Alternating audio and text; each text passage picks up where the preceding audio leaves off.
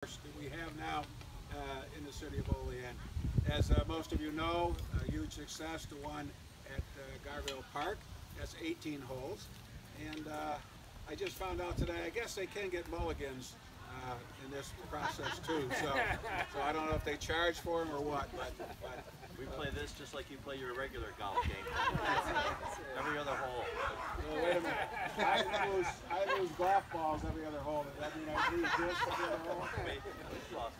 But anyways, we're very thankful that uh, we have the disc golf in, in, in Olean, not only at, Fran- at uh, Gargoyle, but now here at Franchot. A nine-hole course here. As, uh, as you can see, we've had this beautiful area out here that ties in with a walking trail, ties in with our, our children's garden, and uh, people will be able to enjoy this. Our parks, this is what we want our parks to become. We want them used. Look over here, they're playing, uh, they're playing flag football. These are the things that we want every day in our parks.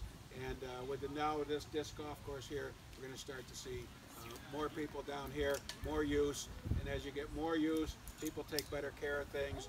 And uh, we'll have, a, uh, you know, we, we look to do this probably in, in a few, at least a few holes in uh, each of our other parks too.